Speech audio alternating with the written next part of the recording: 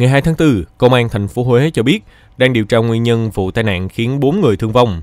Theo đó, vào khoảng 1 giờ sáng cùng ngày, anh Trần Văn Dũng, 29 tuổi, trú thành phố Huế, chạy xe máy mang biển số tỉnh Thừa Thiên Huế trên đường Điện Biên Phủ theo hướng từ đường Phan Chu Trinh về đường Đào Tấn thì sẽ ra va chạm với xe máy mang biển số tỉnh Thừa Thiên Huế đi ngược chiều. Trên xe có 3 thanh niên gồm Hùng 25 tuổi, Minh 27 tuổi và Hà 26 tuổi đều trú thành phố Huế. Hậu quả vụ tai nạn khiến Dũng và Hà chết tại chỗ, Minh và Hùng bất tỉnh, được đưa đi cấp cứu tại bệnh viện Trung ương Huế. Hai xe máy hư hỏng nặng, hiện lực lượng công an đang điều tra nguyên nhân vụ tai nạn.